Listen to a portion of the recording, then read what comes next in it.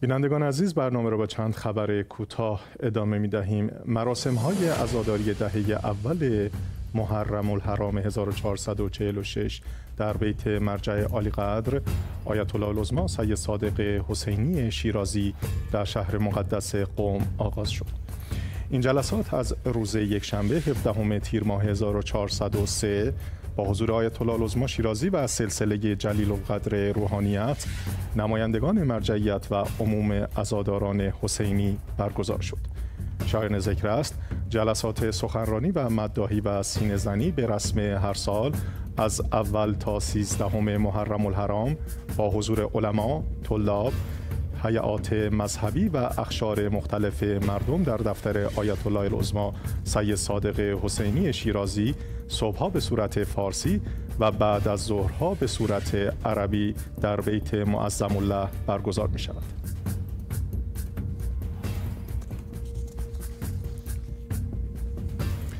سازمان امدادی الجزایر روز دوشنبه اعلام کرد که 14 نفر از جمله دوازده سوری پس از گیر افتادن در صحرای الجزایر در نزدیکی مرز با لیبی جان خود را از دست دادند. این افراد که همگی مرد هستند و در میان آنها نوجوانان هم مشاهده می شوند به دنبال رفتن و گرفتن پناهندگی اروپا بودند که بر اثر تشنگی در صحرای سوزان جان باختند. مرکز امداد و نجات شهر تمراست, تمراست الجزایر اسامی قربانیان را منتشر کرد که برخی اسامی کم سن و سال و متولد 2003 و 2006 هستند. در پایان گفتنی است استانهای جنوبی الجزایر به عنوان نقطه گذری برای مهاجران آفریقایی در نظر گرفته می شود که به دنبال رسیدن به اروپا هستند.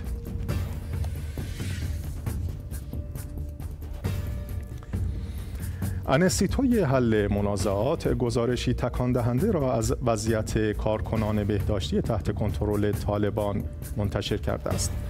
در این گزارش 109 واقعی خشونت علیه کارکنان بهداشتی در سال 2023 به ثبت رسیده که 80 درصد آن از سوی جنگجویان طالبان صورت گرفته است.